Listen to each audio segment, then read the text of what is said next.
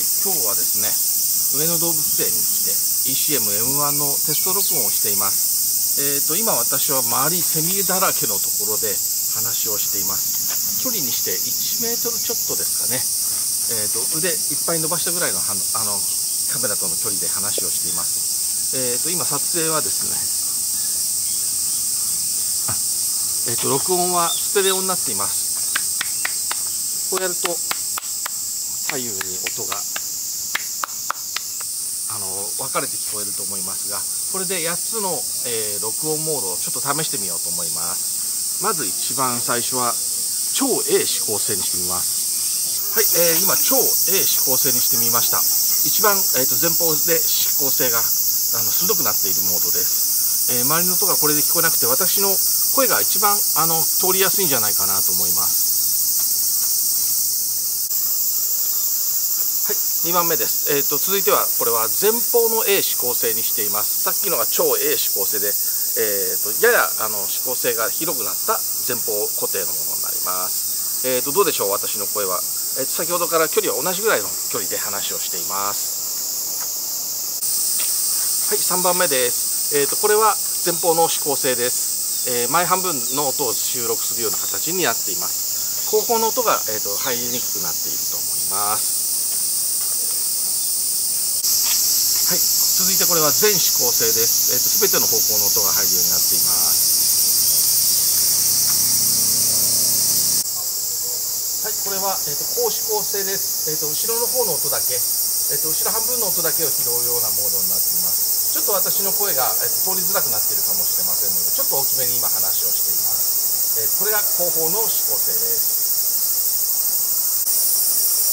はい、これはですね、えーと、全方向の指向性になっています、えーと、インタビューなどで使うやつ使うモードで、えーと、後ろに話し手がいて前方にも話し手がいるというもので録音した音はミックスで、えー、と両方とも混ざって収録をしています。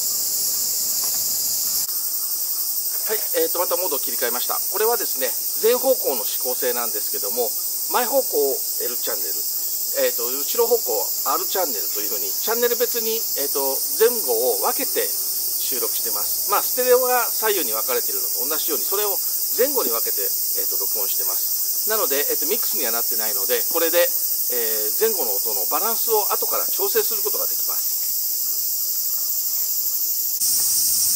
さあ、最後です。え、ー、と、一周回ってきて、これはまたステレオになっています。えー、今までのショットガンマイクロフォンが全てモノラル録音しかできなかったんですけども今回のこの ECM-M1 はですね初めて、えーと、ステレオでの収録ができるようになりました、えーと、ナレーション撮りではなければもう全部ステレオで撮っといてナレーション撮りの時だけ、えーと、指向性のあるものにするというような使い方ができるマイクになっています。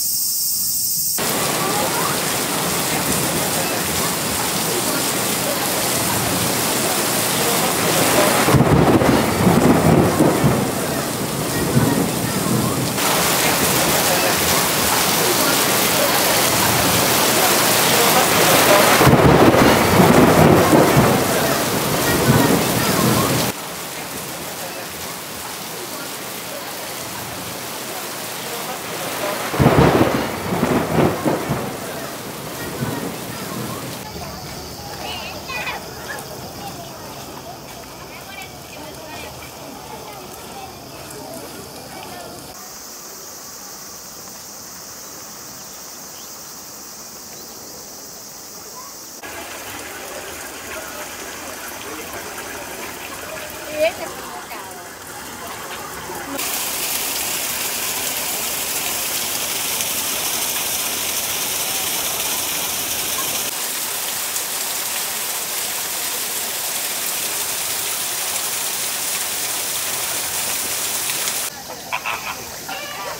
Ha ha ha!